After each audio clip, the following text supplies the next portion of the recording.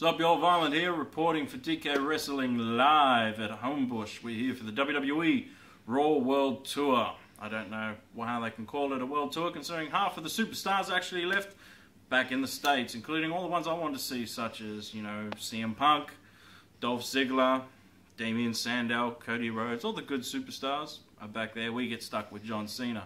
So, needless to say, I almost didn't come tonight, but I decided to come. Um, probably be uploading some videos throughout the course of the night. You know, match outcomes, my thoughts of the matches, as well as anything else that transpires. You know, if there's an injury, I'll be first on the scene. And uh, so stay tuned. Make sure you check them out. Subscribe now so you can get all the videos as soon as I've uploaded them. And follow me on Twitter at Dead Knight Films. So make sure you follow us there and I'll give you all the updates on the show throughout the night. So, until next time, see you soon.